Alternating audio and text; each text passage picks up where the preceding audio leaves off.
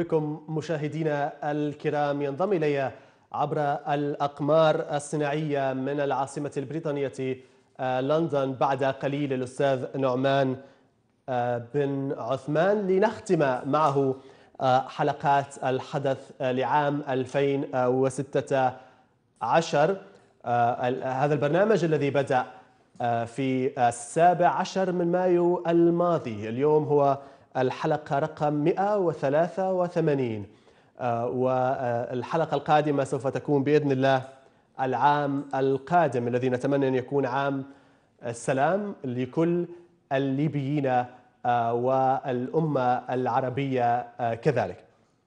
لا أعرف ما كان الاتصال الآن صار آه، جاهز؟ طيب.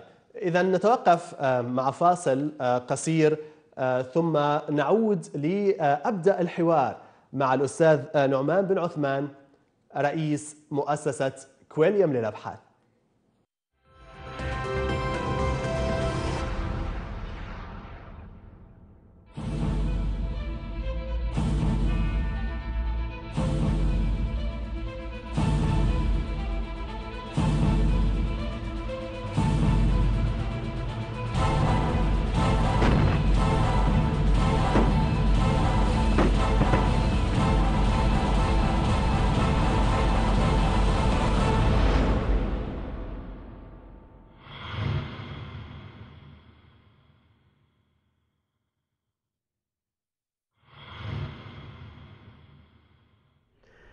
نقول عز الوطن في وحدة ترابة كان الوطن مات بخرابة عز الوطن. راه الوطن غالي وراه الوطن ما يسوى هوالي. واللي في الوطن فرط باجيالي وطال الهجر والطاول عذابه عز الوطن في وحدة ترابة كان الوطن ما تبه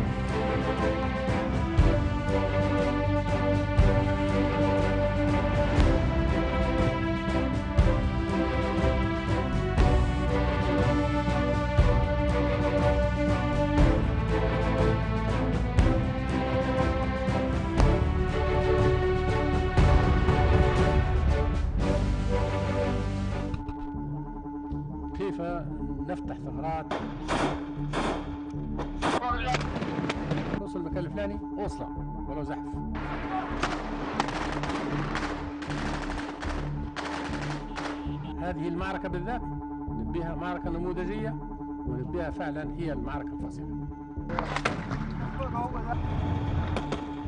امور طيب لا الله أكبر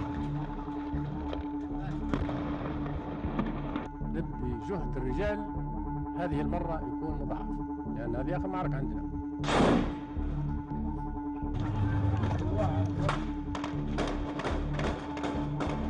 نريد تأخر. نريد التحرك في وقت واحد. نريد الاستفادة من ضربات الطيران والمدفعية. فيش غنيمة لغير الغنيمة هي انتصارك. الغنيمة هو تكسير الكلاب التي الذين أتوا من كل حد وصوب. هذا هو الهم المطلوب التغلب عليهم.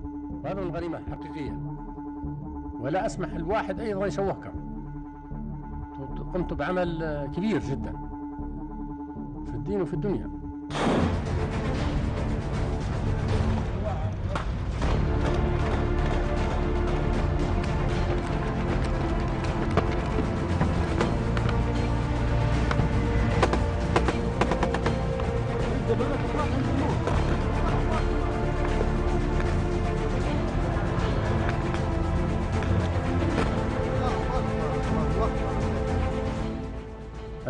كلها نبوها تتم والفرحة تعم الجميع. وأنتم أهلها أريد هذا الكلام اللي قلته كم يصل كل مقاتل إن شاء الله.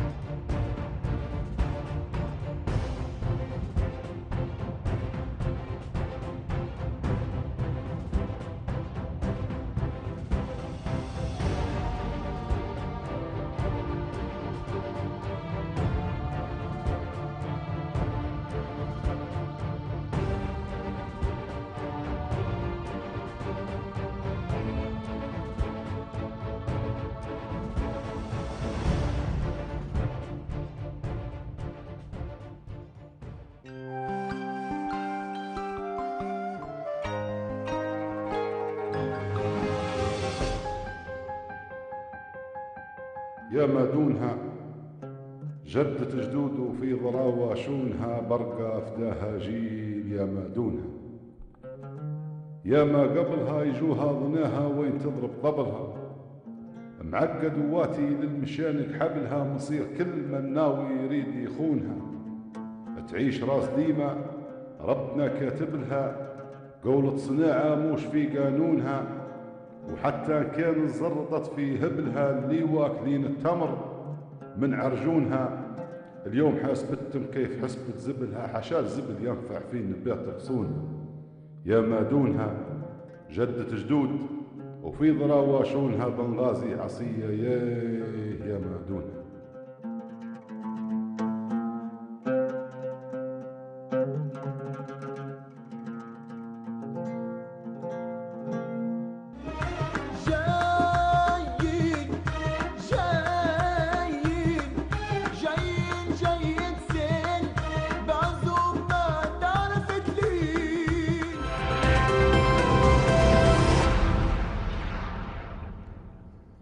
أهلا بكم مشاهدينا الكرام مجددا وأجدد ترحيب بضيفي الأستاذ نعمان بن عثمان رئيس مؤسسة كويليام للأبحاث ضيفي عبر الأقمار الصناعية من لندن. أستاذ نعمان أهلا بك.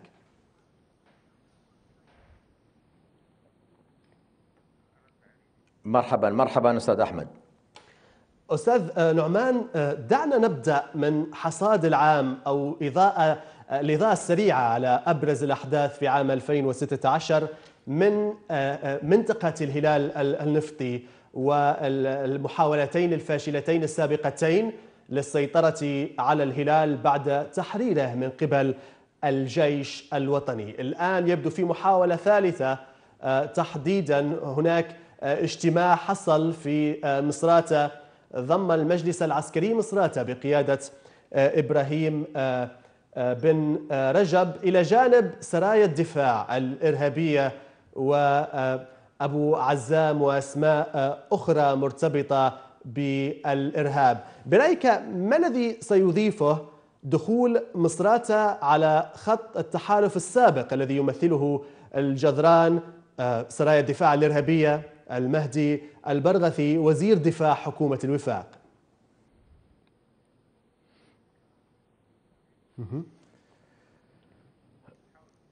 حقيقة في تقديري يعني آه، اللي دخل أو أو محاولة الدخول هي من المجلس العسكري مصراتة اللي هو الميليشيات يعني.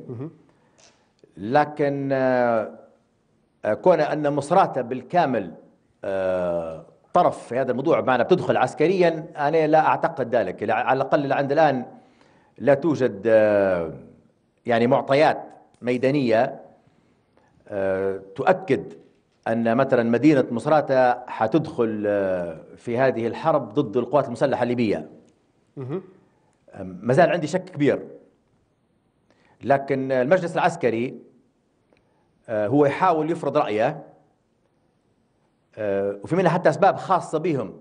هي هذه هذه المشكلة اللي عانوا فيها في ليبيا الآن آه، كل المجموعات هذه اللي هي خارج إطار القوات المسلحة الليبية عبارة عن ميليشيات سميها ما شئت وجميعها جميع الميليشيات الموجودة على التراب الليبي الآن كلها تتحجج بشيء واحد فقط. وهو؟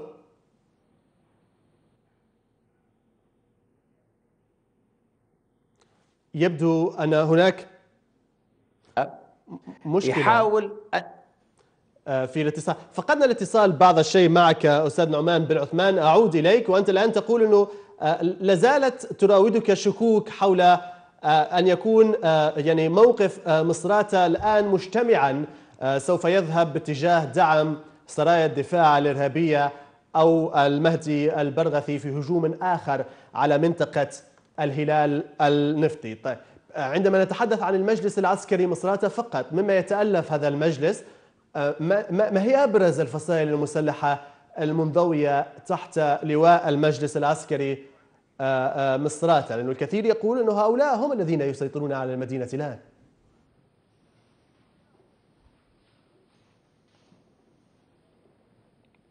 لا شوف ال- المجلس العسكري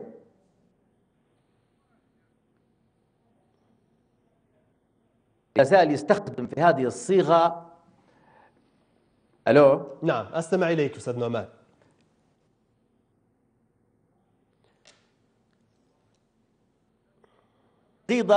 على طيب. يبدو أنه في مشكلة في مسلحة الاتصال آه،. تواجهنا الآن عبر الأقمار الصناعية من آه، لندن آه، والأستاذ آه، نعمان بن عثمان رئيس مؤسسة كويليام للأبحاث. أعتذر من المشاهدين لرداءة الاتصال وسوف نحاول الآن العودة إليه آه، مجددا. لا أعرف ما إذا كان الآن آه، معي أستاذ نعمان.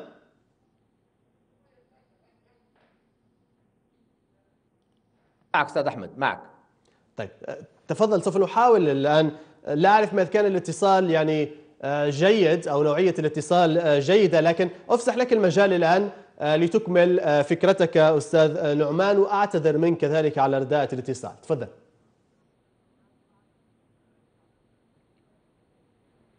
بارك الله فيك أستاذ أحمد أنت وكل الإخوة العاملين في المحطة ونسأل الله يتقبل منكم جميعا عملكم وكل شكراً. جهودكم. هذه الجبارة حقيقة يعني. شكرا.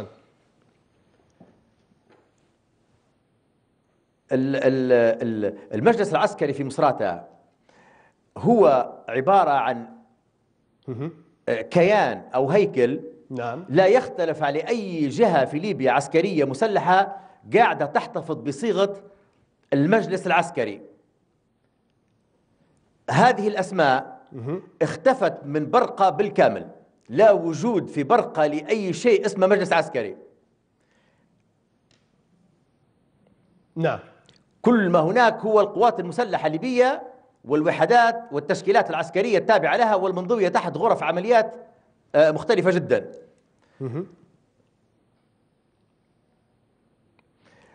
فنظر نظرتي أنا للمجلس العسكري في مصراتة هو عبارة عن ميليشيا لا زالت تستحضر السنوات التعيسة المتعلقة بالحروب الأهلية والقتل وعدم المسؤولية وال- والاعتداءات يعني غير مبررة. مثلها مثل كل المجالس العسكرية التي لا زالت تجتاح المنطقة الغربية الغرب الليبي. نعم. وفي تقديري أن جزء رئيسي من من من المسلحين اللي في مصراتة لا ينطوا ولا يعترفوا بشرعية هذا المجلس لعلمك.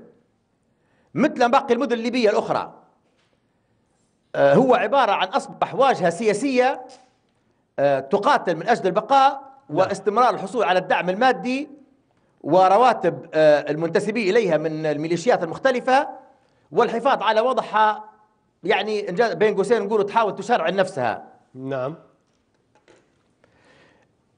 لكن آه، حتى بن- بنبه نقطة يعني مهمة جدا ويهمني كل الإخوة اللي بين يسمعوها هذه. نعم. وهي؟ لاحظ أثناء عمليات آه، سحق داعش في آه، سرت إرهابيين داعش اللي اللي هي كانت كلها تحت آه، مكون ال- ال- البنيان المرصوص. نسأل الله أن يتقبل شهدائهم وأن يشفي جرحاهم يعني وأن يصبر كل العائلات اللي دفعت بأبنائها يعني في هذه المعركة. والحمد لله نصر عظيم جدا ورائع سحق شرادم داعش اللي جايين من ليبيا ومن شداد الأفاق من كل أنحاء الأرض. كانوا يقاتلوا هناك يعني. لكن لاحظ لم يكن هناك دور لما يسمى بالمجلس العسكري مصراتة غير موجود. نعم. يعني آه، المجلس العسكري مصراتة لم يشارك في الحرب ضد تنظيم آه، داعش آه، في سرت كما تؤكد لي الآن. لكن ما القوة التي آه، التي يمثلها المجلس العسكري آه، مصراتة في آه، موازين القوى هناك داخل المدينة؟ وهل تعتقد أن يعني العقلاء أو الحكماء الذين يتحدث عنهم البعض أو يعول عليهم البعض أو يطالبهم باتخاذ موقف من الميليشيات أو دعم الإرهاب في بنغازي أو في غيره أين هؤلاء أستاذ نعمان بن عثمان؟ لأنه الكثير يقول أن الصوت الأعلى هو صوت التيار الداعم للإرهاب. آه، ويعني مجلس الحكماء أيضا أو رئيس مجلس الحكماء إبراهيم بن غشير أيضا ال- الكثير يتحدث عن انتماءاته الإخوانية. لا طبعا بالنسبة لي ما بالنسبة لإبراهيم بن غشير و وكل من هو في حدوه هؤلاء من أكبر متطرفي الحرب يعني. هؤلاء يعني ما لم نشاهد منهم إلا زرع الحرب والدمار وتأييد أي واحد يقاتل الأطراف الليبية التي يعني غير راضين عنها أو مصنفينهم دورة مضادة أو أزلام أو أعداء الثورة أو أي تصنيفات يعني. فبالنسبة لإبراهيم بن غشير آه، لا يمكن أن يوضع ضمن آه، يعني لما نتكلم نقول عقلاء أو قوة وطنية في مصراتها. نعم. الاتجاه والكلام لا يعني بن غشير بن غشير عنصر أساسي من إشعال الفتنة والحروب والقتل والخراب والدمار في أغلب المدن الليبية. هذه مسألة واضحة يعني. وهو من الناس الكثير جدا اللي وفروا الغطاء للإرهابيين هؤلاء وال- والزنادقة صحيح. اللي قاعدين الآن. القوات المسلحة تقاتل فيهم في بقاياهم في قنفودة وفي الصابري في سوق الحوت. وأيضا الإرهابيين اللي في درنا يعني. بن غشير من أمثاله هم الذي يوفروا لهم الحاضنة نعم.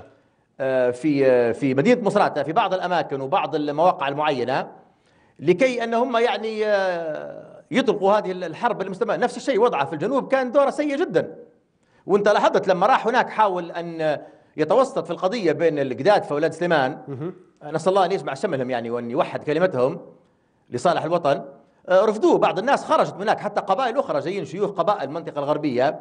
لما شاهدوا بن غشير طرف في هذه القضية رفضوا حتى أن يستمروا في الموضوع طيب أستاذ نعمان ما الذي سيضيفه فانا عندما برأيك؟ أتكلم على مصراتة لا أقصد ال- لا تقصد إبراهيم آه، بن غشير لكن عندما نتحدث الآن عن موقف المجلس نعم. العسكري آه، مصراتة وانضمامه إلى تحالف ال- الجدران المهدي البرغثي وزير دفاع حكومة الوفاق المرفوضة إسماعيل الصلابي أبو عزام الشركسي وغيرهم ما الذي سيضيفه انضمام المجلس العسكري لهذه الجوقة التي فشلت في مرتين سابقتين آه، من احتلال أو حرق الهلال النفطي ووجه لها الجيش ضربات قاسمة؟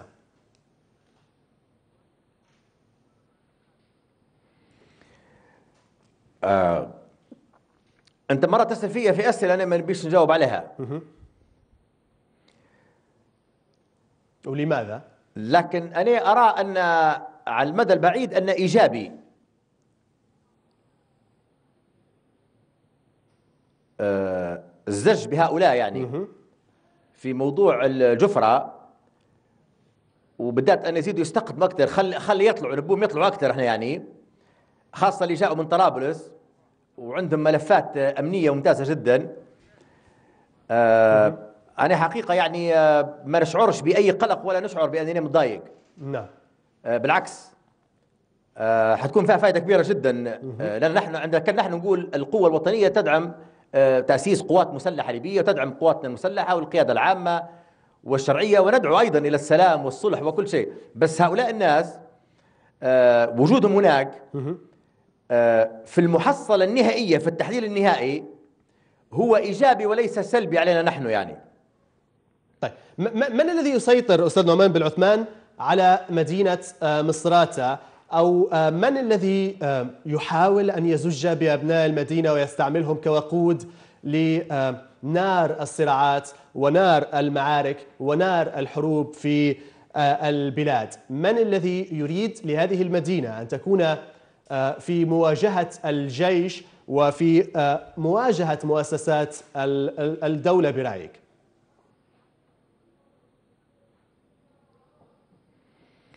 برايك هذا سؤال مهم جدا. في تقديري أنهم حلقات يعني في أقصى مدى قد لا يتجاوزوا 15 أو 20% من مصراتة كلها اللي هي حوالي 450 ألف مواطن. يعني هؤلاء يمثلوا ممكن 15% منها. جزء منهم آه اللي هم مرتبطين بقصة آه، ال- ال- ال- التصور التركي الحكومة التركية في أنقرة. نعم. ومن أهم رموز هذا المشروع الفورتية. من أهم رموز هذا المشروع. آه، اللي اللي يرى أن لازم أن يكون في تحالف بين آه، مدينة مصراتة والمشروع التركي اللي موجود في أنقرة هناك وهو يتعدى ليبيا إلى الشرق الأوسط. من أهم رموزه آه، هو الفورتية وهذا تم الاتفاق عليه في 2011 بينه وبينهم وفي عدة لقاءات وفي هوتيلات وموثقه بالساعة جلسات صباحيه كلها على الإفطار في الهوتيلات وين في جنيف وفي غيرها وكذا يعني. المهم هذا هذا مشروع. فهو هذا لا يملك أمره. لا يملك نفسه هذا. لأن مرتبط وعاطي ضمانات واخذ دعم من أربع أو خمس سنوات من طرف آخر اللي هو الطرف ال- التركي. ولذلك يحاول دائما يثبت أو يعطي معلومات مضللة حتى في الخارج. أن أنا مصراتة في إيدي أنا نمثل مصراتة أنا الرمز المصراتة هذا كلام غير صحيح. ما يمثلش مصراتة آه الطرف الثاني هو حركة الإخوان المسلمين. نعم. تنظيم الإخوان المسلمين آه نجحت حركة الإخوان ببراعة تامة أن هي تتخذ من مدينة مصراتة كجغرافيا مصراتة نفسها أو الكتلة البشرية اللي هي من مصراتة بكل كوادرها وإمكانياتها أن هي تعطي انطباع أن أن مصراتة الإخوان الإخوان مصراتة وهذا غير صحيح برأيي. وهذا على أرض الواقع عمليا داخل مدينة مصراتة غير اطلاقا. اطلاقا. نعم. غير صحيح. لكن الإخوان عندهم إمكانيات وعندهم قدرة وعندهم دهاء كيف يبرزوا في الأشخاص اللي هم انتماءاتهم الأصلية لمدينة مصراتة بالرغم أن مشروعهم هو مشروع حسن البنا مش مشروع آه، مصراتة ماليش علاقة بمصراتة شايف؟ هذه الفئة آه، لا تريد أن يحل الموضوع بالطريقة الليبية أو بالطريقة الوطنية لأن تريد مصالحها. وجود مصراتة في الأزمة والدفع بأبناء مصراتة في حرب تلو الأخرى في حرب تلو الأخرى حتى يضمنوا هم أنهم باقين في السلطة خارج إطار الصندوق وخارج الانتخابات. بزعم أنهم يمثلوا مصراتة وكتلة مصراتة البشرية المهمة جدا في ليبيا تنتمي لهم. فهذه أيضا من ال- من ال- من الحلقات طيب. اللي مصرة على هذا الأمر. طيب. وق- وق- وقبل أن نتحدث عن الحلقة الثالثة أيضا. الحلقة الثالثة آه، آه، هي المرتبطة ب نعم مرتبطة ب قبل أن ننتقل إلى موضوع آخر. الحلقة الثالثة. يا بالحرب في في بنغازي وبرقة عموما. نعم.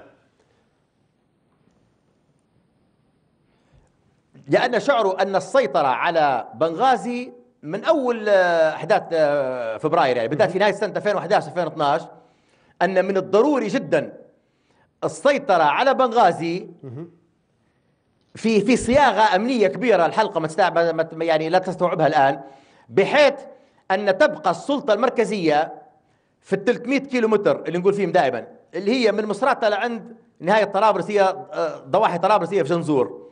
بحيث تبقى سلطة القرار السياسي والمالي موجودة هناك وهذا الوضع هو من قديما موجود يعني من الأربعين سنة الماضية من أيام الجماهيرية موجودة عمليا السلطة الرئيسية في هذا ال- ال ال- 300 كيلو متر يعني جيد؟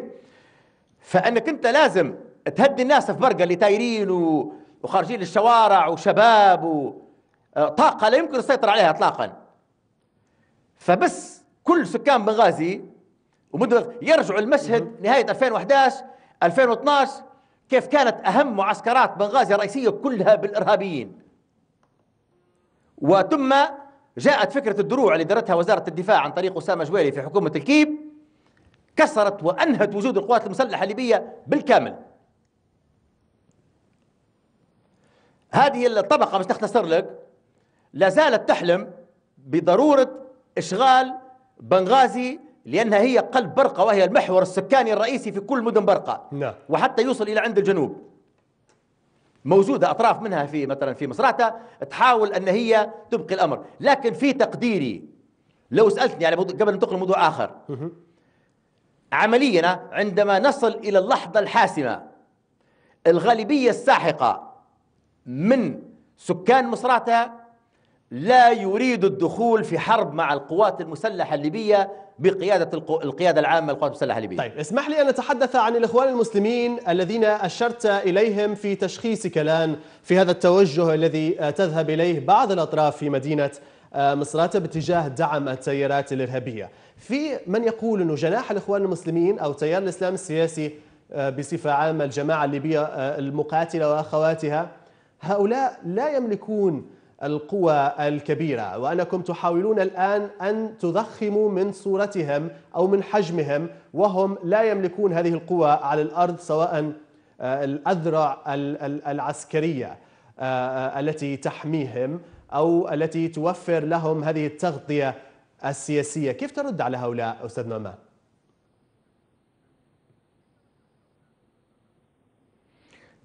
لا هو أنا مش ملزم بالرد على حد أنا نقول في رأيي وغير معني بال ب- بالقصة هذه تعتقد أنه رأيهم فعلي بمعنى المهم. الآن الكثير يسأل كيف آه، وصل آه، تيار الإسلام السياسي وكيف تغول تيار الإسلام السياسي وكيف سيطر على مفاصل الدولة عندما نتحدث عن سيطرته خلال الأعوام الماضية على المصرف المركزي على سبيل المثال على وزارة النفط وزارة المالية في الحكومات ال- ال- المتعاقبة على دار الإفتاء على ديوان المحاسبة. كيف تمكن آه، تيار الإسلام السياسي من نيل كل هذه المكاسب وهو لا يملك هذه الأذرع العسكرية كما يشير البعض؟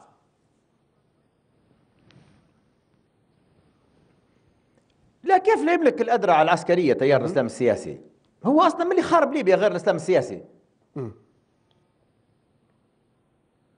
كيف ما عندهمش أذرع عسكرية؟ ما هذو الزنادقة والإرهابيين والمقملين هذو؟ شنو هم هذو أصلا؟ منين جايين هذو شنو هذو ليبراليين ولا علمانيين ولا شنو هذو هؤلاء يقولون لكنه تنظيم داعش وتنظيم القاعدة وأن الجماعة الليبية المقاتلة لا تملك آه، كتيبة اسمها الجماعة الليبية المقاتلة. الإخوان المسلمين لا يملكون كتيبة اسمها جماعة الإخوان المسلمين على سبيل المثال. لا يملكوا وسام بن حميد الدروع. حركة الإخوان المسلمين آه، شكلت نفسها من خلال آه، سيطرتها على ال- على الدروع. الدروع. النقطة الثانية وصرفت عليه من أموال الدولة حاولت نعمان. هي تستغل ال ال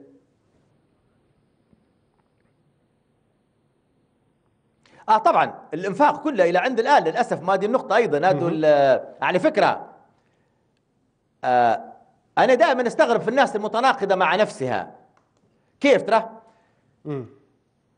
نشوف فيهم يعيطوا حتى في الخارج مؤتمرات لما يستدعوهم الغربيين يدير قرواطه حلوة ويجلس وما فيش كاميرات تصور فيهم. ما يطلعوش في التلفزيون ولا في الفيسبوك. يبدوا يتكلموا على كيف أن الميزانية وأن هؤلاء ال- المسلحين استنزفوا بند الميزانية وحوالي ينفق عليهم من 22 إلى 24 مليار دينار ليبي. سنويا ميزانية بند بند بند بند الرواتب. في نفس الوقت لانهم منبودين وسقطت عنهم ورقة التوت خلال السنوات الماضية وبانوا أنهم تافهين ولا يملكوا أي مشروع لليبيا سوى أن هم يبوا يدفعوا الثمن الشعب الليبي ثمن بقائهم في الخارج عندما كان معمر القذافي يسميهم كلاب ضالة. يأتي يقول لك التوار والشارع مات جنبي والشارعك مات جنبك انت عمرك مسكت سلاح أصلا في حياتك انت. انت راجل أصلا تقدر تمسك كلاشنكوف تضرب النار على العدو. ما يقدروش. لازم ياخذوا آخرين يقاتلوا من أجلهم. ما عمرهم في حياتهم رفعوا سلاح. ابدا. وهذا كويس لأن السلاح شرف. مش كل حد يقدر يحمل أصلا. لكن اللي بنقوله كالتالي أنا مستغرب فيهم ينتقدوا في الإنفاق الرهيب. والإهدار الغير طبيعي للأموال. وهم عارفين أن 23 مليار هذه جزء جبار منها ماشي لما يسمى بالتوار. بغير وجه حق وبغير سلطان لا من شرع الله سبحانه وتعالى ولا بالقوانين واللوائح ولا حتى مفهوم الوطنية. نعم. ولا عند الآن تصوره آه ولين نتفهم هذا يعني. المجتمع الدولي بيقول لو قصيتوا عليهم الرواتب حيخربوا بيتكم. طيب أستاذ نعمان عندما نتحدث الآن عن الأسماء فينصحوا الغربيين.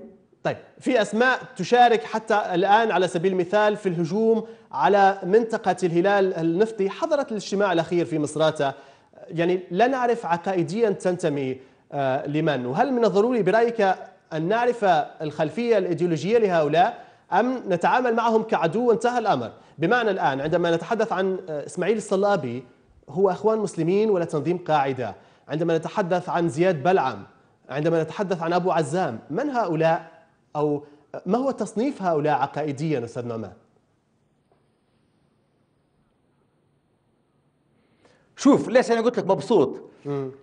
كلا بالنسبة لهؤلاء بالذات الاسمين اللي ذكرتهم. بعون الله يعني.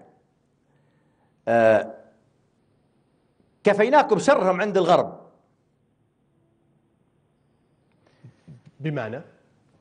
وممكن نستخدم التهديد أيضا يعني. بالذات في موضوع زياد بلعم. لأن عندنا الأدلة بالضبط هو يتعامل مع من؟ مش مش مش في مجال طرحا الآن. ادله أدلة مش تحليل. أدلة. جيد؟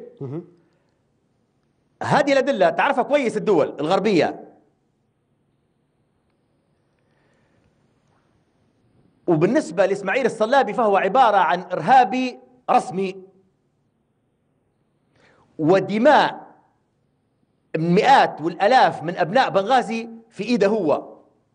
لما تشدوه إن شاء الله ويتكلبش أنا حنجيب الأدلة. بالقانون ها؟ ونجيبوا له محامي بس باش نثبتوا للناس من هو هذا الشخص والدماء اللي ملطخة إيديه بها.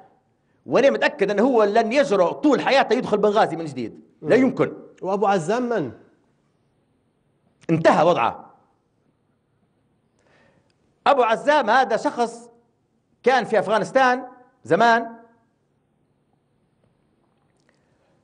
ثم بعدها أخذ اللجوء في أوروبا راح لهولندا فترة ثم انتقل لإيرلندا. اعتقل في السعودية بسبب تحويلات مالية ما كانتش هي فعلا لكن السلطات السعودية اشتبهت أن هي متعلقة بالإرهاب. هو كان في مشروع بزنس يعني بحت متعلق بالحج والعمرة. فصارت تحويلات مالية وكان معاه شاب ثاني صومالي آه، شاب مقيم هنا بريطانيا يعني أبو عبد الرحمن. شاب ماليش علاقة بالإرهاب اطلاقا يعني. نعرفه شخصيا السيد هذا أبو عبد الرحمن بل أنه أقرب حتى إلى السلفية مش آه، شخص يعني. بس السلطات السعودية آه، انتبهت للتحويلات المالية يعني. مبالغ كبيرة جدا من الدولارات والأشخاص اللي كانت تعامل معهم هناك في المملكة والخلفيات تبع الأشخاص هؤلاء نفسهم. اعتقلتهم هناك وبقت قضية حتى كقضية حقوق إنسان قصة خاصة قصة أبو عزام يعني إلى أن تم بعد تقريبا أربع خمس سنوات تم ال- الإفراج عنه و- وإلى آخره. جت قصة فبراير رجع هناك وأصبح قائد عسكري في في طرابلس. وهو جزء رئيسي من منظومة الجماعات الإسلامية الإرهابية. والآن موجود في الكفرة هناك في في الجفرة بحيث أن هم آه، يبي يقدم الدعم و وإلى آخره وبعون الله يعني كل هباء منثورة بإذن الله يعني خاصة في ال- في الجفرة بإذن الله يعني. آه، هذا التحالف أستاذ نعمان بن عثمان آه، فقط أضيف إليه ثلاثة أسماء أخرى. المهدي البرغثي ما الذي يعني آه، يعني يدعه مع هؤلاء أو يجتمع مع هؤلاء أو يهاجم الهلال النفطي مع هؤلاء؟ وهل تعتقد أنه يقوم بذلك نيابة عن المجلس الرئاسي وعن رئيسه فايز السراج أو يقوم بذلك بصورة مستقلة عن رغبة المجلس الرئاسي؟ كذلك أود أن أسألك عن إبراهيم الجدران رغم الهزيمة المتكررة آه، آه، وأيضا رغم طرده من الهلال النفطي رغم الفضائح التي أشيعت عليه آه، أنه يس- يستغل الشباب وهو يعيش آه، يعني أو يستثمر أمواله في الخارج. أيضا فيما يتعلق بمصطفى الشركسي وخلفيته العسكرية. أيضا ما الذي يجعله آه، ينتمي إلى هؤلاء؟ لماذا يتحد كل هؤلاء لإزاحة الجيش؟ على منطقة الهلال النفطي برأيك؟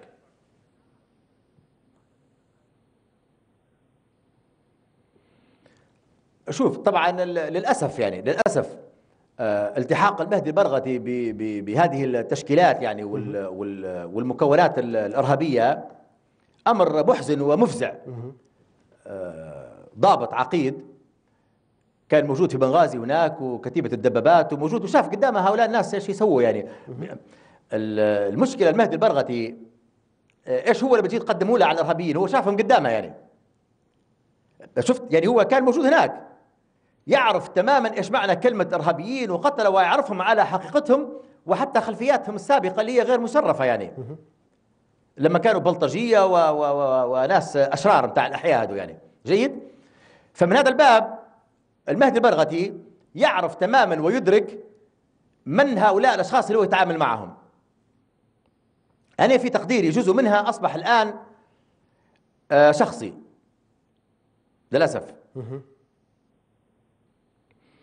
آه، أصبحت عنده مشكلة شخصية مع شيء اسمه خليفة حفتر وهذه صعب جدا حلها القضايا هي تصبح. وحيحاول دائما يعطيها آه، طابع الوطن طابع سيادة الدولة طابع الشرعية طابع ال- الحكومة. طابع بس نبي نقول لك نقطة هنا نعم آه، أنا عندي شك كبير جدا أن المهدي البرغتي مدعوم من ال- الفرقاطة اللي هي المجلس الرئاسي. كيف؟ وبالنسبة لفايز السراج يعني تعتقد إنه- عندي شك كبير أنه مدعوم من مجلس الفرقاطة. بمعنى تعتقد إنه يقوم مدعوم منها. ها بمعنى إنه يقوم الآن بهجوم على منطقة الهلال النفطي كتطوع كأمر شخصي آه، وباستقلال تام عن المجلس الرئاسي بصفة عامة وعن فايز سراج بصفة خاصة. هذا ما فهمه من حديثك الآن. الشخص الوحيد اللي متهم مع البرغتي من المجلس الرئاسي هو هو العماري. طيب. ومصطفى الشركسي هذا أكثر شخص لابد التركيز عليه هو فقط. مصطفى الشركسي أيضا عقيد أعتقد إنه رتب في آه، رتبته في آه، ال- ال- الجيش. لماذا يتحالف مع هؤلاء؟ وهل تعتقد إنه اسم نعم. بالفعل ولا صورة آه، يختفي آه، خلفها آه، أو تختفي خلفها التنظيمات الإرهابية؟ يعني هو قائد عسكري ولا واجهة فقط؟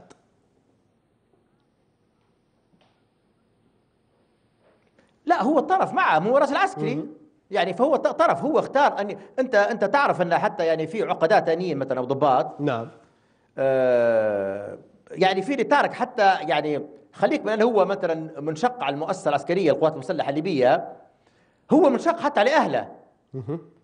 وفي في أكثر من أكثر من شخص هناك. أنت لو تشوف مثلا تتابع حركة المهدي البرغتي والمكتب بتاعه هناك والناس اللي تردوا عليه وبعض الضباط بين قوسين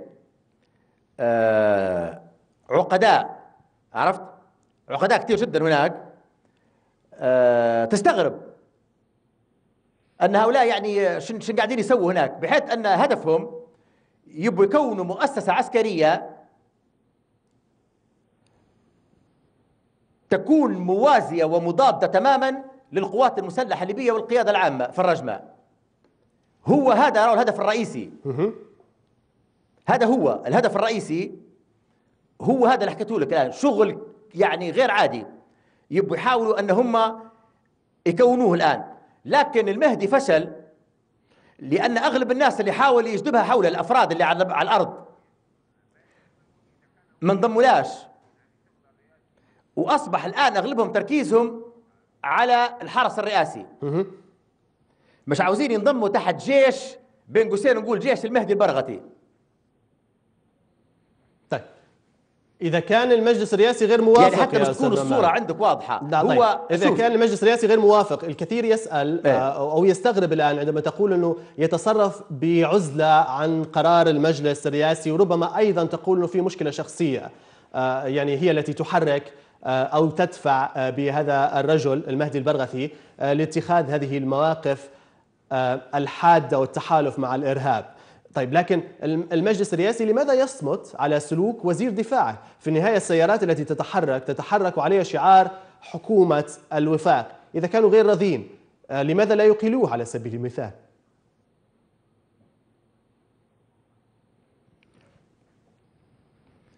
هو أنا تمنيتك ما سألتنيش السؤال هذا بصراحة يعني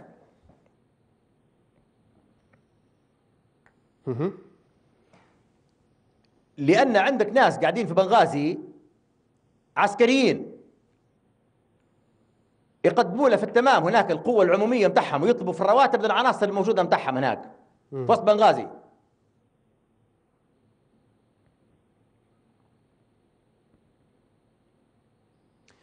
فهمت معنى كلامي ولا؟ لا لا لا لم أفهم. هي معلومة خطيرة. إن كانت آه، آه، آه، يعني الآن عندما تقول هذه المعلومات هي معلومات خطيرة للغاية.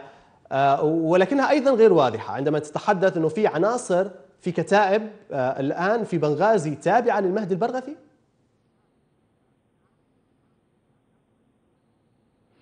نعم يستلم حتى في القوة العمومية هناك تبعهم وآخر آه، آخر طلب آه، جاه كان السيد اللي بعت له الضابط اللي بعت له ال- القوة العمومية تبعه هناك تحت إمرته في بنغازي إن هي حوالي 340 شخص طالب 341 شخص. يعني هو يحاول أن يعد ميليشيا بالأسماء. يعني هو يحاول أن يعد ميليشيا يمولها بالمال آه، داخل آه، آه، يعني الأراضي أو المناطق التي تسيطر عليها القوات ال- المسلحة هذا ما أفهمه من حديثك الآن طيب فيما يتعلق بإبراهيم الجدران وباختصار شديد كنا نتوقع أنه انتهى بعد أن لقنه الجيش أكثر من مرة آه، دروسا آه، قاسية. لماذا يصر هذا الاسم مرة أخرى على توريط نفسه في هذه الحرب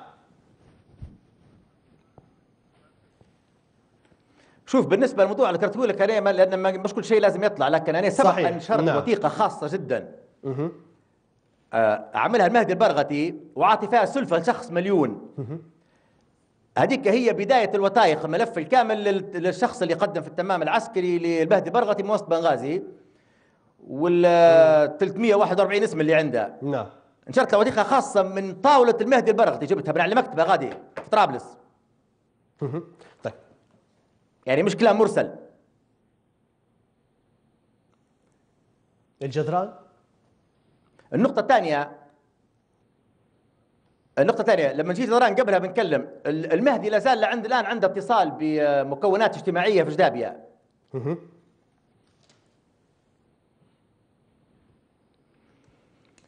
ف يعني بهاد وهي القصة كلها متعلقة بالمؤسسة العسكرية.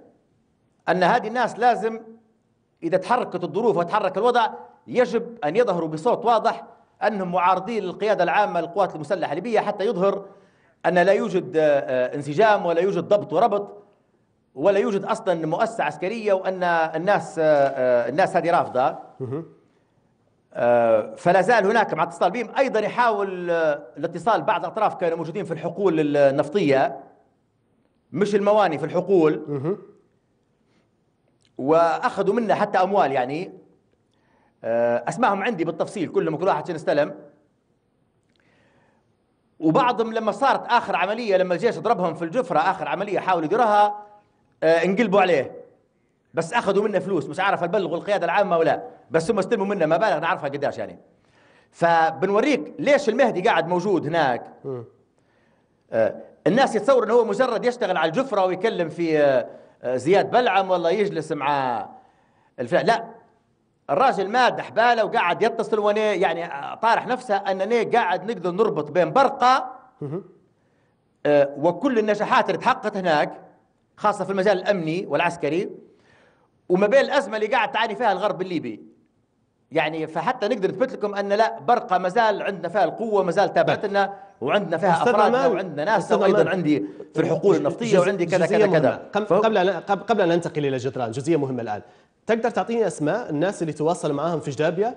أو آه، اسم الشخص آه، اللي يعطي في التمام للمهدي البرغثي في بنغازي حتى يعرف الجيش آه، من عدوه ويتخذ ضده الاجراءات اللازمه والناس كذلك تريد أن تعرف. من هؤلاء؟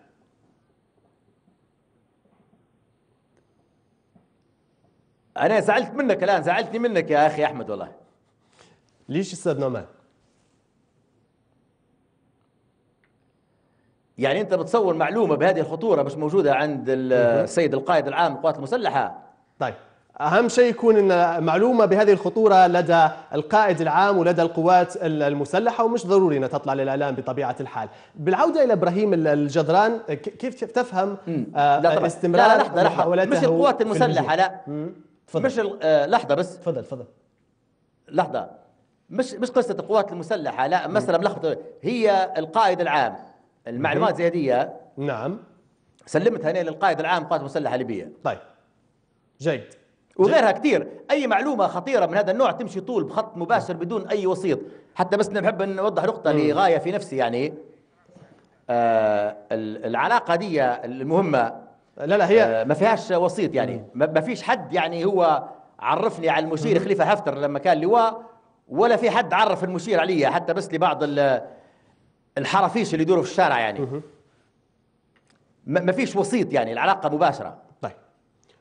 والجيش يقظ. جميل جدا أن تقول الآن أن الجيش آه، يقظ ويملك هذه المعلومات أنه آه، ليس آه، مخترق أنه يتعامل معها بحرفية. وأن تقول أن كل هذه المعلومات قد زودت بها القائد العام للقوات المسلحة المشير خليفة حفتر. طيب في جزئيتين لم تجبني عليهما فيما يتعلق بإبراهيم الجدران وأيضا فيما يتعلق بالمجلس الرئاسي. طيب إذا كان غير موافق على هذا النهج الذي ينتهجه المهدي البرغثي لماذا يغطيه سياسيا ويبقي على صفته كمفوض بوزارة الدفاع؟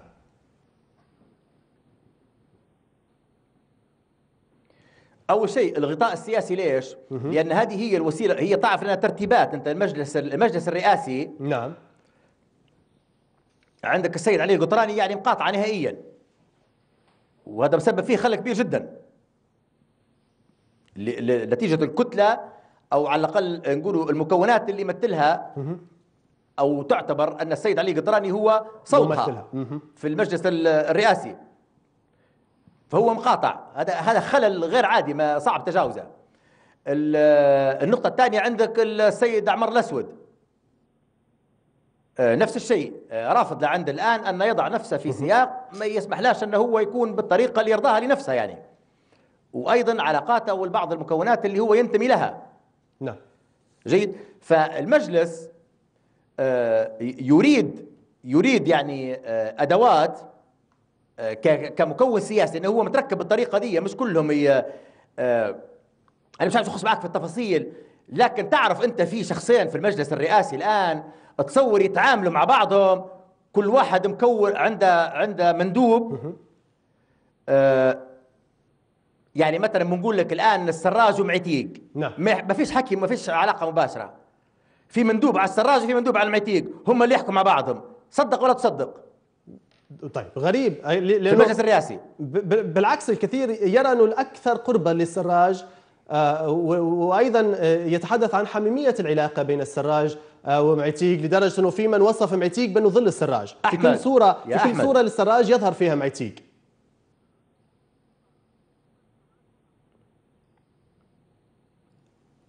أنا أنا غير معني بالكثير. عرفت؟ طيب. أنا معني بالمعلومات. أنا معني بالمعلومات. بالمعلومات مش بالكثير. وإحنا معاهم في طرابلس يعني بالخطوة. إحنا معاهم في وسطهم اللي يمشي إحنا معاه. شاء من شاء وأبى من أبى. ما طيب. يقدر حد يمنعنا من ممارسة طيب. دورنا الوطني في كذا ولا ننتظروا في إذن من أحد أصلا. اطلاقا. هذه نبي كل واحد هنا يطلعها من راسه المسألة هي مش حننتظروا أي واحد في أي شيء يتعلق بليبيا. رجاء رجاء. كل واحد يطلعها من راسه ويحطها كويس قدامه. يعني في في يبي متوترة. يتحول لعدو يتفضل. في التريس. متوترة. في لكن علاقة يكون راجل بس. في علاقة متوترة تقول آه، آه، بين أحمد معتيق وفايز السراج آه، تحديدا أليس كذلك؟ متوترة جدا جدا جدا. والسبب آه، وطني؟ لأن السبب في أساليب. السبب خلاف أنا وطني؟ مش عاوز أنا ندخل معك في السبب خلاف وطني برأيك؟ ولا صفقات؟ آه، لأنه آه، أيضا من يتصدر المشهد الآن أحمد معتيق. حتى عندما أعلن عن الميزانية التي سيقترضها أو سيأخذها من ال- ال- المصرف المركزي آه، في آه، طرابلس هو دائما متصدر ال- المشهد هو دائما في الواجهة. الخلاف من هذه الزاوية برأيك؟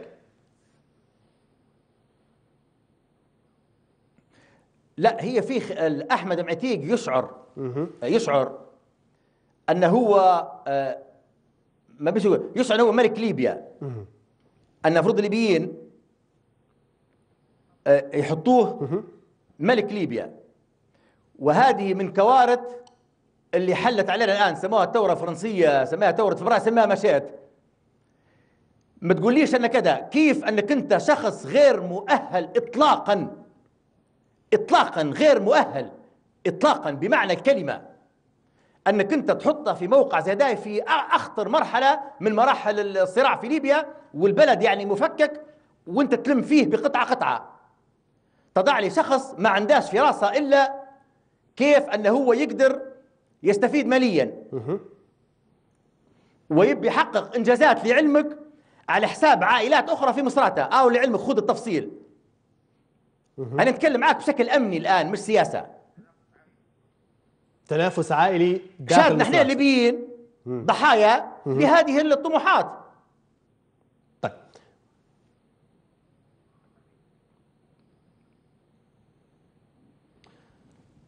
أستاذ نعمان بن عثمان منذ قليل آه، تحدثنا أو سألتك تحديدا عن إسماعيل آه، الصلابي. طيب ماذا عن أو ماذا عن شقيقه الأكبر؟ الدكتور علي الصلابي أحد منظري آه، جماعة الإخوان المسلمين آه، من العاصمة القطرية الدوحة. هو دائما يطرح في مبادرات تارة يدعو إلى انتخابات مبكرة كحل للأزمة في البلاد. تارة أخرى آه، يدعو إلى آه، الآن إلى حوار في الجزائر في قسنطينة تحديدا.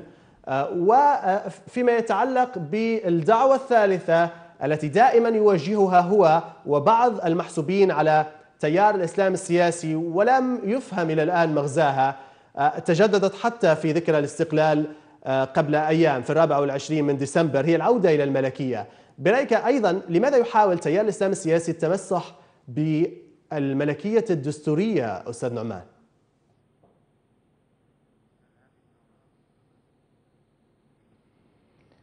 شوف هم هذا هذا ذكرت لك يعني هذه هي من مصادر القوة عند التيارات هذه التنظيمات السرية هذه اللي تسمي في نفسها التيارات الإسلامية آه، بدون أي استثناء كلها. أول أنا عندي القصة كالتالي شوف.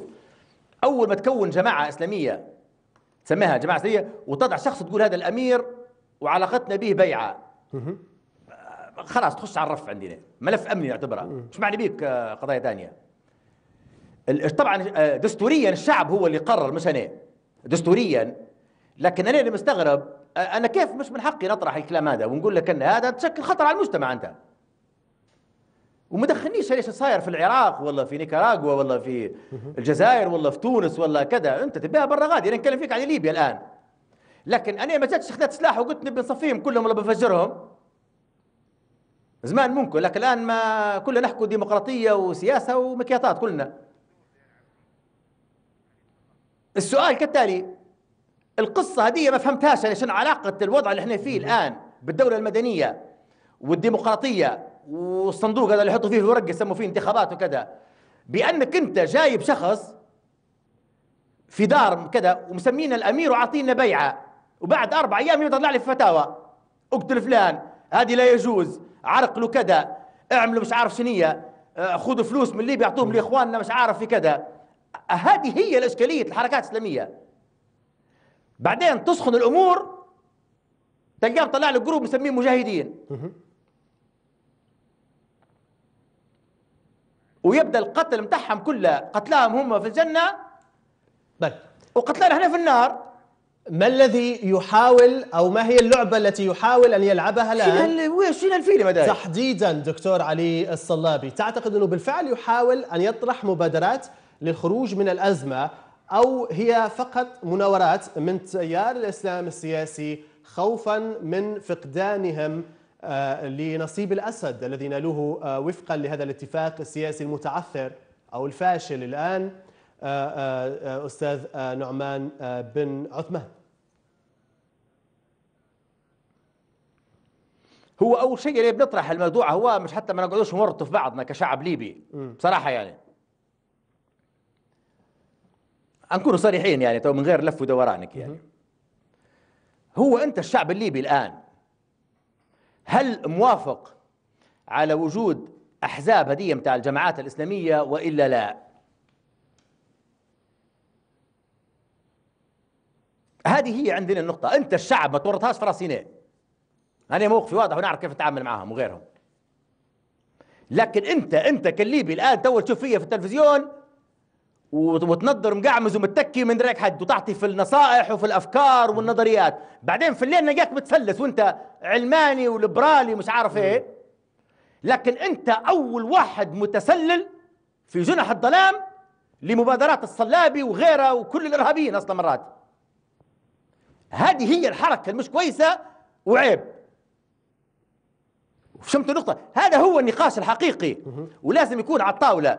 إذا كان الشعب الليبي قال إحنا كشعب ليبيا بأغلبيتنا موافقين ونؤيد هذه التجربة ونبوا جماعة الإخوان المسلمين حزب سياسي في ليبيا والجماعة المقاتلة حزب سياسي وممكن حتى القاعدة حزب سياسي. هذا ده مش موضوع نعمان بالعثمان. شفت وين؟ هذه تهمني. أنا نبي السياسيين واللي عندهم مصالح معاهم واللي عنده مصالح مع دول معينة معاهم. يا اخواننا أنتم إيش موقفكم؟ وهل زي ما يقولوا في ليبيا معلش بالعامية يعني. تجروا بالليبيين بالشعب الناس بسيط وتحركوا فيهم في الفيسبوك وتعيطوا وإلا أنتم صادقين فكريا مفاهيميا. وعندكم القدرة أن توضحوا إيش هو سبب الخلاف حتى ما هو الشخصي. يعني سبب الخلاف ما هو شخصي أصلا. طيب يعني يعني الآن هو إحنا حوار أفكاره زي ما قلت لك ما في حد رفع كلاش أستاذ نعمان بن عثمان أنت- يعني أنت تعتقد إنه الآن ما يقوم به الدكتور علي الصلابي هو محاولة لخروج أو إخراج التيارات السياسية الدينية التي تقول الآن إنه الشعب الليبي يرفضها وأيضا تدعو الشعب الليبي للاستفتاء آه، لاستفتاء رأيه حولها إلى الخروج من عنق الزجاجة أو هذا المأزق الكبير الذي تعيشه في البلاد الآن. تعتقد إنه هذه الجماعات تتحسس الخطر تتخوف من حصول أو تكرار النموذج المصري وهو آه، الزج بهذه التيارات إلى آه، غياهب السجون. هم يتخوفون من هذه النهاية في ليبيا. لذلك الآن إما يدعون إلى انتخابات آه، مبكرة أو يدعون إلى العودة إلى الملكية تحديدا.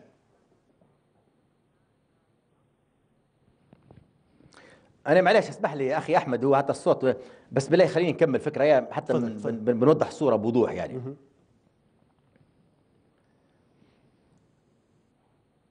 يعني أنا حاولت نشفرها لكن هيك خلينا نحكي بوضوح.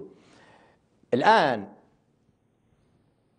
أنا جلست كان عندي لقاء مع كنديين آه رسميين آه وجزء منهم أمنيين يعني متى امن نعم. جيد؟ وين القصة هي؟ وهذه متكررة لكن هذا آخر شيء آخر لقاء قاعدة نفس الاسطوانة تكرر أن المجتمع الليبي ما عندهاش مشكلة مع الإسلام السياسي.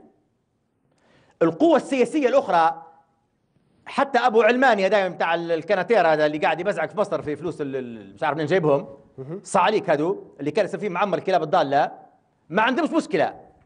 لأنهم يتكلموا very soft لما يجي طرف غربي ركز عليها بس. يعني لسانهم رطب مش يحافظوا على أشكالهم هم. مع الغرب أو لكن متشدد مع مع الداخل. أو لو نبي دعم من قطر مثلا. أنا علماني أبو علماني لكن نبي قطر تدعمني مثلا ومن حقها بقضية دعم أي شخص هذا ما نقدرش نمنحها دولة عندها مصالح يعني. لكن يهمني في الليبي أبو علماني أبو ليبرالية. أبو فواتير من رئاسة الأركان. هيك كبرى ملف هيك كبرى. هيك كبرى ملف. بالملي بالملي من اللي طالع. يعني قطر لا تدعم كل شيء فوق ينفتح. آه. قطر قطر لا تدعم هاي فقط. وثائق سرية ملف نحكي عليه. آه قطر لا تدعم فقط. طيب حتعلن عليه في الفيسبوك أعلن عليه اليوم أستاذ آه نعمان عبر برنامج الحدث. من تقصد؟ قطر لا تدعم فقط آه أحزاب سياسية دينية أو الإخوان المسلمين تدعم في بعض الجهات ال- ال- الليبرالية أو المدنية في في, في ليبيا؟ من هؤلاء؟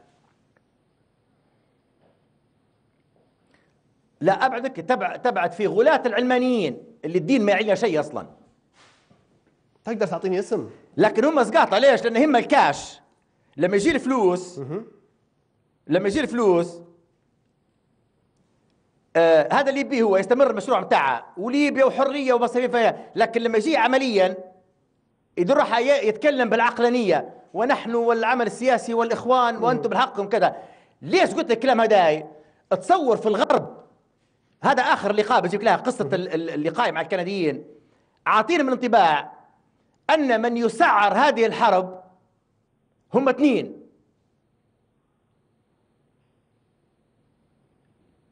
العبد الفقير الله نعمان بن عثمان والقوات المسلحة الليبية بخليفه بقيادة خليفة حفتر نعم. هادو سبب الليبيين ما عندهم اي مشكلة مع الجماعة الإسلامية. حتى الخلاف هو مجرد سياسي. وليه قالوها لي باللفظ نقولها لك هاي اسمعها هكذا. أن خليفة حفتر لا يؤمن إلا بقتل كل الإسلاميين واحد قال لي بيمسحها من على وجه الأرض. مسلح ولا مش مسلح؟ خلينا في نهاية السنة هديه نطرحوها للشعب الليبي وأنا ننصح صراحة المشير على الهواء والجيش الليبي بالذات لا. هذا أمر خطير جدا. ماليش علاقة الجيش الليبي. الجيش الليبي أنا قلت لهم الجيش الليبي أنت رافع سلاح اليوم ولا غدوة جايك. نعم. جاء رفع سلاح ومداير يافطة وخرقة ومسميها مش عارف شنو سمي حط اسطمبات على القد بتاعي على السيارة. الجيش الليبي معني بملف الدفاع اللي هو من منظومة الأمن القومي الليبي. لكن أن تقعد أنت كلكم تكلموا تكلموا بلغة ما تحملكمش مسؤولية وبعدين تحطوا في القضية أن نراه مشكلة الإسلاميين والتوتر اللي صاير في المجتمع الليبي وأن ليش هم مش قاعدين يدمجوهم في العملية السياسية هو خليفة هفتر. وإلا واحد ثاني حرض عليهم اسمه نعمان بن عثمان. طيب. هذا قسما بالله اللي صار. وأنا حكيت لك من الأخير يعني. آخر لقاء كان مع الكنديين. 2016 أستاذ نعمان بن وهذا عثمان قمة التضليل. طيب 2016 آه، أستاذ نعمان بن عثمان آه، محليا آه، في ليبيا. لو أردت منك أن تضع عنوانا لهذا العام ما هو هذا العنوان؟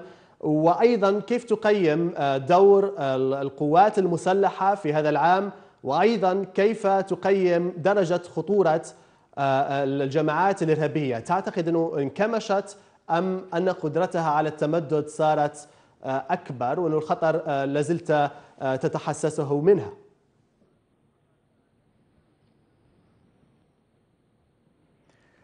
شوف من أهم مميزات العام 2016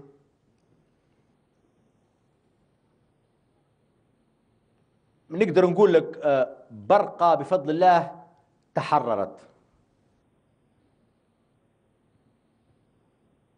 الحمد لله. خلاص.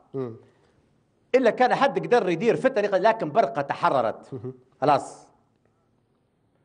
بكل معنى الكلمة. فالآن المسؤولية كلها على أهالي برقه المدن هناك القبائل السكان يشوفها. لكن خلاص. أن كيف يحافظوا على الحرية؟ كيف يحافظوا على إرادتهم؟ كيف يصنعوا المعجزة في كل مدينة هناك وكل قرية في برقة تثبت أنها هي فعلا تسعى إلى مشروع وطني ليبي وأن فعلا الحياة المدنية والدولة المدنية. لأن كسرت تقريبا كل الأغلال والقيود اللي قاعدة كانت تحيط بهم. فبرقه الآن تقدر تلاحظها بكل وضوح قدامك. وفي قلبها بنغازي. طيب. يعني الإشعاع كله جاي من بنغازي أصلا. هذه مسألة واضحة جدا. وبنغازي فيها مجتمع مدني قوي جدا جدا جدا لو تم الاستثمار فيه وسمح له بالنهوض. فيها مجتمع مدني غير عادي بكل معنى الكلمة. طيب. وكل شباب. ومش معنيين بقصة السياسة ولا كلام نقول فيه نيه ولا غيري. نعم. هم يبوا مستقبل. طيب. هذا شيء 2016 رائع جدا وإنجاز رهيب لليبيا كلها. تقييمك لدرجة هذا الموضوع الأول. خطورة التنظيمات الإرهابية. الموضوع الثاني. تمددت ولا انكمشت آه، في 2016 كذلك. وأيضا افسح لك المجال للموضوع الثاني آه، آه، أستاذ نعمان تفضل. الجماعات الإرهابية أخي الكريم أنا نقول لك راه بصراحة أنا شخصيا هيك حتى نكون معك صريح ما بيش نلف وندور يعني. ال- الاستراتيجية اللي واضعينها بغض النظر ليبيين بقات إرهابيين وفي مكان في العالم أنا بجرتهم مع قصة منتهية يعني. نعم. مع معركتي مع الإرهاب ليست في ليبيا فقط يعني. وخارب بيتهم من مش عارف وين لعند جورجيا وصل لهم غادي. وصلت وراهم لعند جورجيا. ما فيش راسي راسهم. مش حنسيبهم بإذن الله. لكن في ليبيا أنا حساباتي أن نحتاج نضع استراتيجية عشر سنوات.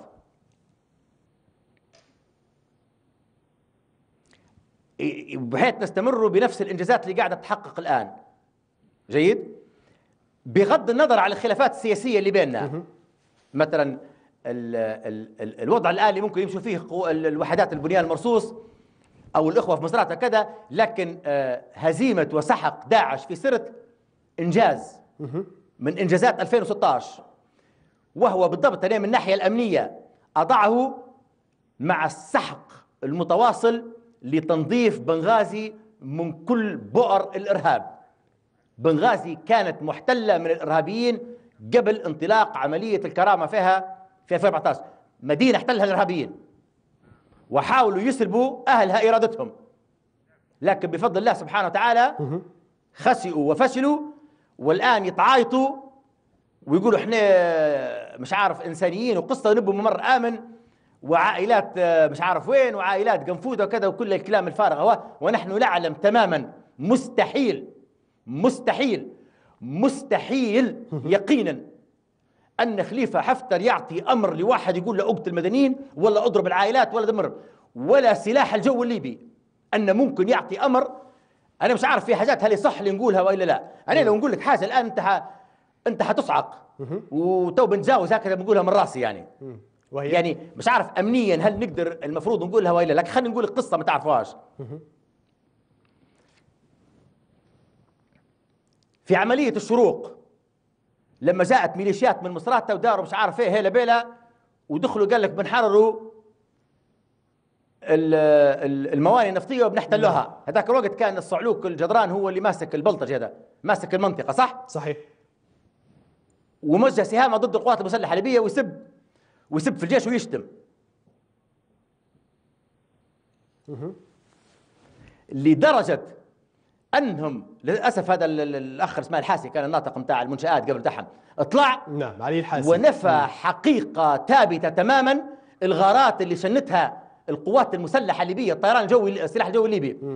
على ميليشيات ال- الشروق لمنحهم من التقدم وسحق مجموعة جدران. هذه مسألة يقينية ثابتة. جيد؟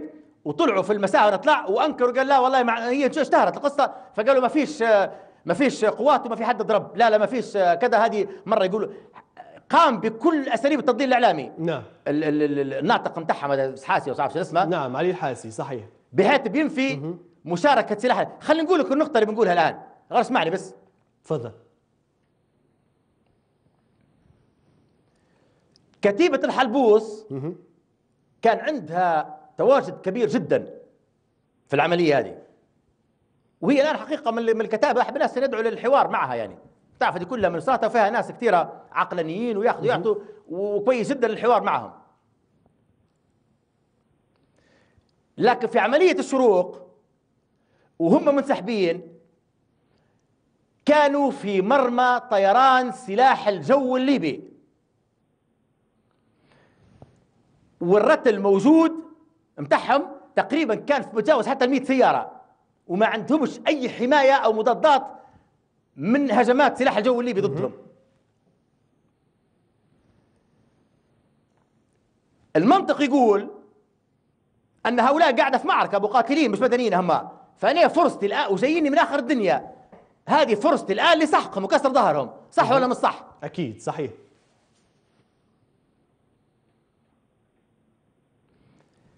العميد محمد المنفور بشكل فردي ومتهور أمر غرفة آه رفض عمليات سلاح يعطي. أوامر لضرب هم منسحبين تصور قسما بالله العظيم زي ما نحكي لك الله هي معلومة للتاريخ أول مرة لأنهم. ليبيين صحيح هي معلومة للتاريخ بس مم. أول مرة إيه، ما يعرفها حتى نعرفها. دي. صحيح عبر برنامج حد. الحدث الان تكشف هذه نعم. المعلومة طيب وتحمل مسؤولية أستاذ نعمان أستاذ نعمان بن عثمان أخيرا نعم. أخيرا فقط يعني شنو توقعاتك؟ وبعدين ناس حاولت ناس حاولت تلومه من الأول. قالوا لا غير اسمعني بس. أنا كيف؟ أنا يعني شو اللي قاعد يدير فيها داي هذه هذه قوة ميليشيات مقاتلة. كان ينظر نظرة لا ما دام رجعوا وردينا عدوانهم لا نريد أن نعزز في نفوسنا وفي جيشنا البطل قتل الليبيين. وسبحان الله الآن جالس معاك أنا هنا ونتكلم بنوع من الأمل والإيجابية مع المقاتلين في كتيبة الحلبوس. طيب أستاذ نعمان بن عثمان الآن آه، هذا الجيش الليبي هذا هو الجيش الليبي. هذا الجيش الليبي. أسألك كذلك عن الجيش الليبي في الغرب الموجود الآن على تخوم آه، طرابلس. طرابلس التي آه، تغلي الآن نتيجة ما ترتكبه الميليشيات المتطرفة هناك من إرهاب واعتداءات على المدنيين؟ بداية هل تتوقع انتفاضة لأهل مدينة طرابلس؟ هل تعول على أي انتفاضة داخلية ضد سلطة الميليشيات الإرهابية أو ضد سلطة هاتين الحكومتين المتنافستين آه، آه، هناك؟ آه، وأيضا هل تتوقع أن الجيش الآن أو لديك ثقة في قدرة الجيش الآن على حسم الأمور آه، لصالحه آه، هناك في الغرب. بمعنى أن الجيش في المنطقة الغربية منظم آه، آه، التابع للقيادة العامة وله القدرة على آه، حسم الصراع لصالحه هناك كما حسمه هنا في برقة.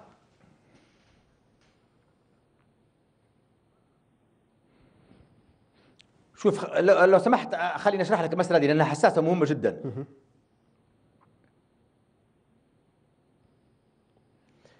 آه، اولا موضوع طرابلس هو موضوع دولي مش ليبي. اولا دولي. بامتياز. آه، غصبا عنا يعني شأن ما بينا. آه، قصة انتفاضة في طرابلس غير موجودة الآن. ما فيش انتفاضة في طرابلس وما فيش حد يعني آه، لا يهيئ لها ولا يشتغلها ولا كذا. نسبة التأييد للقوات المسلحة الليبية بقيادتها العامة في طرابلس أكثر بكثير جدا مما يتصور أكثر جهاز مخابرات في العالم أو محلل سياسي. أنا يعني ما أقول نسبة الاستعداد آه، آه، وال- والجاهزية لتأييد القوات المسلحة الليبية اللي كنا نحكي عليها اللي زي ما قلت لك أنا في عقيدتها عدم قتل الليبيين.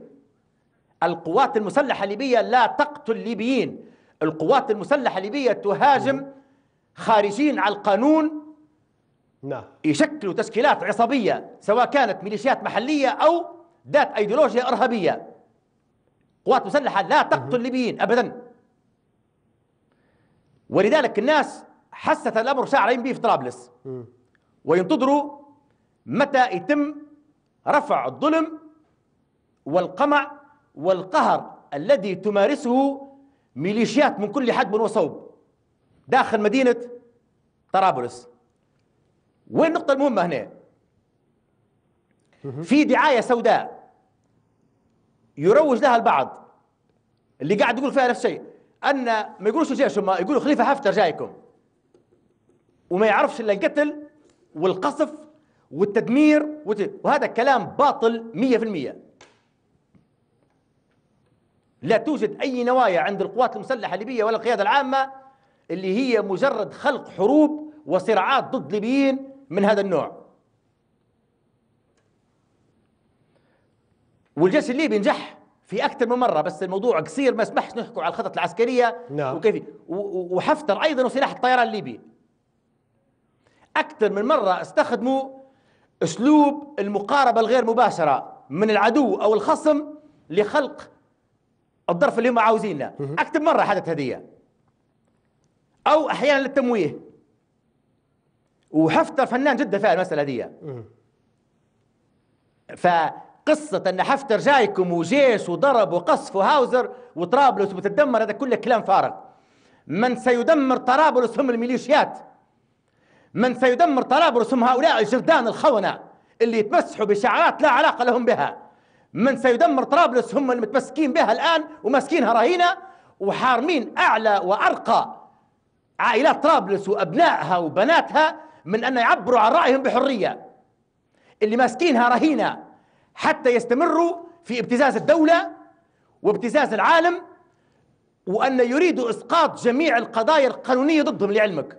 وهذا الكلام سمعته مباشرة بأذني. منهم.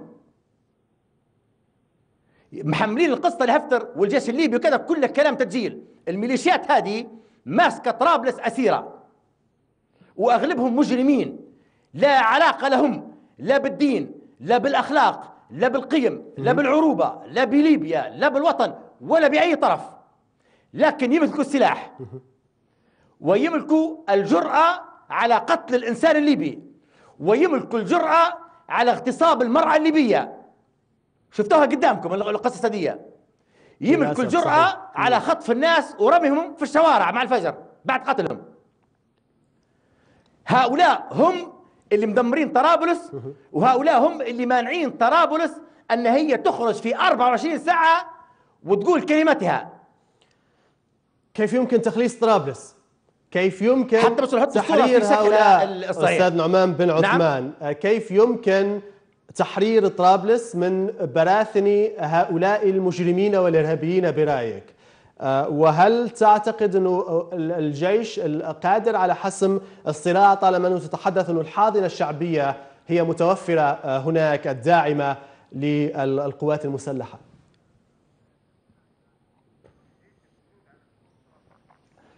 نحن جميعا نتمنى ألا يحدث قتال في أي منطقة ليبية. لأن ناس كثير يتصوروا أن الزحف بت- أو شيء هم متصورين فيه زحف. يعني بمعنى لأن في ناس بعض الناس عندهم من الخبث سبحان الله يعني ما الله به عليم. يعني لا يتورعوا عن استخدام أسوأ أساليب الفتنة لحماية أنفسهم ومصالحهم والتشويش على القوات المسلحة الليبية بالذات استعمال قصة شراقة وغرابة وأن الشرق جايين بيحتلوكم. نعم. يعني تعرف هذا أدنى أدنى يعني صور ال- ال- المواطنة أو الإنسانية. أنا أتصورها أدنى صورة نعم. ممكن يصلها الإنسان الليبي عندما ينزلق في دركات هذا الأسلوب الجاهلي العفن ال- الرخيص. أتحدث عن لما الجيش يتكلم بهذه الطريقة أتحدث عن الجيش بقيادة جيد. السيد شيء. مادي العميد إدريس مادي هناك آه، أتحدث عن الجيش نعم. الموجود الآن على تخوم المنطقة الغربية آه، على تخوم طرابلس في المنطقة الغربية آه، لا خليني أوضح الصورة لأن أنا يهمني الآن ناس طرابلس يسمعوا القصة نعم اللي في الأرض هناك شوفها قدامهم فمتصورين أن في عملية زحف جاية جيش جرار منطلق من الرجمة وماشي ما شاء الله مجتاز الأراضي الليبية كلها إلى عند يدخل تحت السرايا. السرايا الحمراء هذه. طبعا يعني العاقل لما يقعد يفكر يقدر يفهم المسألة كيف تتم مش بالطريقة هذه. النقطة الأولى في الموضوع عليه شخصيا. النقطة الأولى. أي عملية عسكرية في طرابلس لابد النقطة رقم واحد أن يتحمل مسؤوليتها بشكل مباشر البرلمان الليبي المنتخب بقيادة السيد المستشار عقيلة صالح. مسألة في غاية الأهمية دي. لأنه قلت لك معركة طرابلس معركة دولية. طيب. لازم يتحملها البرلمان. ويعطيها الغطاء الشرعي. النقطة الثانية أي عمل عسكري أنا أنا كده؟ أي عمل إن شاء الله حتى واحد يرمي بلوكة انتفاضة. نعم. بدون آه، أوامر أو توجيهات من القيادة العامة للقوات المسلحة الليبية هو حر الإنسان. طيب. لكن ما تنسباش لمشروع دولة ومؤسسات ومشروع وطن قاعد يبنى باختصار أستاذ محمد وقاعد يزحف كل شهر ويحقق في إنجازات. باختصار فيما يتعلق بالمجلس العسكري كيف برأيك آه، يتعايش مع هذا الكم الكبير من الميليشيات في طرابلس؟ كيف يتمكن من اتخاذ ال- القرارات؟ وهو الآن آه، قريب جدا من الحصول على آه، ميزانية حديث عن 37 مليار رغم رفضه من ال- ال- ال- البرلمان سوف آه، يحصل عليها من المصرف المركزي في طرابلس. كيف يمكن للمجلس الرئاسي رغم هذه الوضعية الخطيرة أن يستمر هناك؟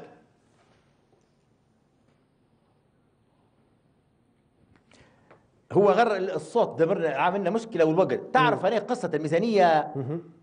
حتى نسرح الناس تعرف لو نزلت ميزانية في ليبيا من اللي حينتصر؟ ما؟ بس بشرط واحد. أن تتقسم بالعدل وتذهب ال- ال- الحصص اللي تتعلق ببرقة بإمكانها ولكل القطاعات اللي فيها قطاع الدفاع القوات المسلحة الصحة التعليم الكهرباء الخدمات. سوف تنتهي معركة ليبيا في أشهر. رغم رغم أن هذا عمل غير شرعي.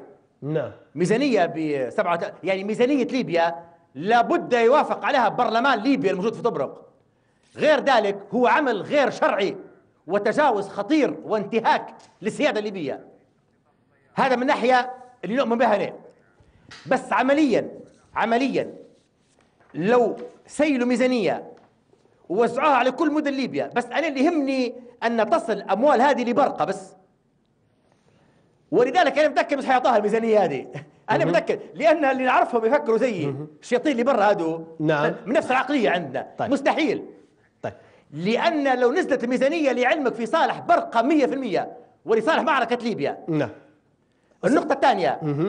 الميزانية المطروحة مش صح. ما فيش 37 كذا. الميزانية المطروحة لأن هذا عمل غير شرعي. وفيه تجاوز لإرادة اللي سيدتهم. طيب. هي 8 مليار. 8 مليار. مليار دينار. ولدي- اسمها ميزانية مؤقتة طيب. لدي. أربعة. دقائق وأقل. فقط يا أستاذ نعمان بن عثمان. وفي آه، ربما أحداث حدثت في عام 2016 هامة للغاية. على سبيل المثال اختطاف الطائرة الليبية هي أول مرة في التاريخ ال- الليبي آه، تمر آه، بنا حادثة من هذا النوع. كيف رأيتها؟ خاصة وأنها نسبت لأنصار النظام السابق. لحزب آه، للمرة الأولى يعلن عليه آه، يسمى الفاتح ال- الجديد. كيف رأيت هذه الحادثة؟ آه، شوف أول شيء عملية آه، خليني أكون معك صريح أنا أنا نحب نحكي هيك بوضوح هذا الأسلوب هدايا يعني نبيه لازم لازم مش مش حنوافقوا عليه راه. ولعلمك أي واحد بيزايد علي أنا يمشي يضرب راسه في الحيط. لأن الكلام هدايا مع المشير في مكتبة. ما فيش حاجة اسمها مزايدة على النظام السابق. ما فيش حاجة اسمها مزايدة. بتطلع بتموت بتجنح في 60 داهية. ما قلت لكش ارفع كلاشنكوف لكن قضية أنك أنت تطلع يحمي فيك الطيران بتاع ساركوزي تقعد عليه ست سنين تسب لي في قبائل ليبيا وتسب في نص مدن أنت إيش تعرف عليها مقعمز غادي في زنقة؟ مش عارف وين. إيش تعرف عليها أنت بن وليد شو انت من أنت أصلا؟ من أنت أصلا؟ متبتل أنت. شو تسوى عندنا انت قدام بن وليد شو تسوى عندنا قدام ترهونة. بكل جبروتها وبكل تاريخها. شو تسوى انت قدام قدادفه معلش اسمح لي بس شو تسوى انت قدام هات. والتوارق اللي هناك. شو تسوى انت قدام العربان والسعان هناك بالجبل الغربي. كل واحد يلزم حدوده. أنا نتكلم على مجتمع وما حدش يزايد علينا في معارضة النظام لي النظام الليبي السابق والجماهيرية. مرفوضة جملة وتفصيلا وشكلا ومضمونا. ما فيش واحد قدر يوصل لمعمر القذافي بدون دعم ساركوزي ولا حلف الناتو إلا الجماعة اللي كنت أحد أهم قياداتها. ثلاث مرات. مزايده لا. جيد؟ يا جماعة ما, ما, ما, ما تفرقوش الناس حول الجيش. إحنا قاعدين ليل نهار متحملين كل شيء مقابل حشد الشعب الليبي. أنا هذا اللي يهمني. أنا غير معني بأي حزب سياسي اطلاقا ولا في سياسي في ليبيا يكبر في عيني لعلمك. ما فيش واحد أصلا. أنا اللي يهمني المؤسسة العسكرية هذه الليبيه أرجوكم رجاء خاص من أجل ليبيا من أجل جيل التسعينات. نعم. أهما اللي اللي بيموتوا بال بال بال بال بالطاقة وبالامكانياتهم غير عادية. طيب. جيل التسعينات في ليبيا. أكبر واحد فيهم اليوم يا أحمد. نعم. عمره 26 سنة. صحيح. فقط إحنا نضيعونهم أستاذ. نعمان أستاذ نعمان ف- لدي المؤسسة دقيقة. العسكرية- أعتذر منك. أقل من المؤسسة دقيقة العسكرية. نعم. لدي أسمح لي بس. طيب. لدي 30 ثانية نريد- فقط. أريد أن- نريد. أن تفضل. نجمع الوطن. أسمح لي بس ارجوك نعم. الكلمة الأخيرة لك نريد تفضل. أن نجمع الوطن حول المؤسسة العسكرية. نعم. كله حتى مصراتة واللي في طرابلس واللي في برقة والجنوب والتوارق والتبو واللي أنصار الجماهيرية. نريد أن نجمعهم كلهم حول هذه المؤسسة الليبية الخالصة طيب. المؤسسة العسكرية الليبية عيار 24 ذهب نريد. أن نجمع الوطن يا أخي أحمد على المؤسسة. السنة هذه. نعم. أريد أن أتوجه بت... لحظة يا أحمد. طيب. نهاية السنة لازم أن نوجه كل الحب والتقدير لإخواننا وأحبابنا أبناء الدعوة السلفية. بارك الله فيكم. نعم. رجال جدعان شكراً. أبناء التوحيد. كفيتوا وفيتوا وصلت إلى الختام. ووصلنا معك إلى ختام آه، برنامج الحدث لعام 2016 أشكرك أستاذ نعمان بن عثمان رئيس مؤسسة كويليام للأبحاث. مشاهدينا الكرام هذه الحلقة الأخيرة من برنامج الحدث لعام 2016 نلتقي العام القادم. ونتمنى أن يكون عام سعادة على الليبيين وعلى الأمة الليبية والعربية. في أمان الله.